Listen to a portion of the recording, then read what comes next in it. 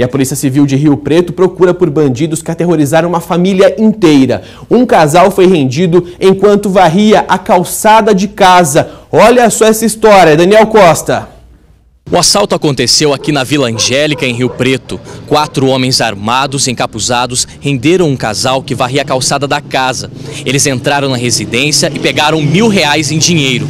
Na sequência, colocaram o casal dentro de dois carros que estavam na garagem e seguiram até o Jardim Bordon, na casa da sogra de uma das vítimas. Chegando aqui no Jardim Bordão, os bandidos renderam a dona da casa e obrigaram ela a entregar oito pedras preciosas avaliadas em 10 mil reais reais. Depois eles fugiram, levando também celulares e folhas de cheque. O caso foi registrado na Central de Flagrantes e está sendo investigado pela DIG, Delegacia de Investigações Gerais de Rio Preto. Daniel Costa para o Televerdade.